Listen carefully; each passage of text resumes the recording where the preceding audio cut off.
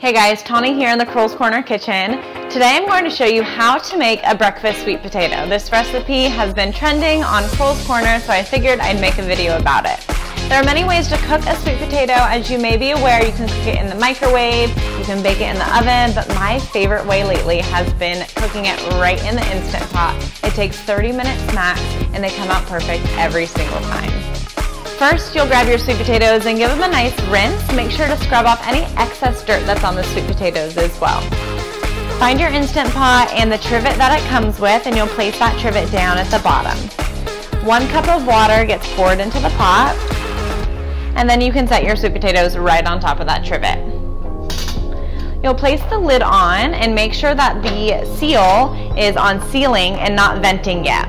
We'll cook this on high pressure for 15 minutes and then we'll let this naturally release for another 10 to 15 minutes as well. So the remaining heat, that pressure inside the pot will continue to cook the sweet potato.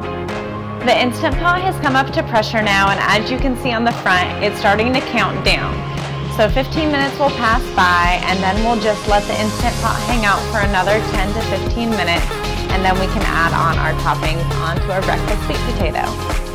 The pressure is naturally released now for about 15 or 16 minutes there and we're going to just switch this seal over to venting and all the steam has been released so no more steam will be lifting up. We'll take the top off and we'll stick a fork in the sweet potatoes to check their doneness. Remove the sweet potato from the Instant Pot using a pair of tongs because the sweet potato was pretty hot. Now keep in mind, if you have an extra large sweet potato, you may need to bump up that pressure time to maybe about 20 to 25 minutes, just depending on the size of your sweet potato. Now the fun part, all the different toppings. The world is your oyster when it comes to the toppings. I have a lot of different ones here. Some of my favorites that I like to switch up. Banana coins. I have almond butter here.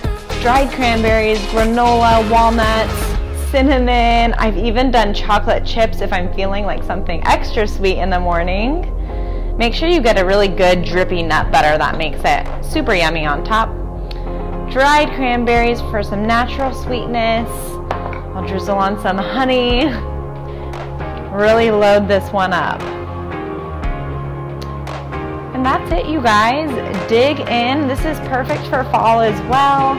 I love to make this when I am Loading up for a busy day, this keeps me nice and satisfied. The full recipe and directions can be found on crowellcorner.com and thank you so much for watching.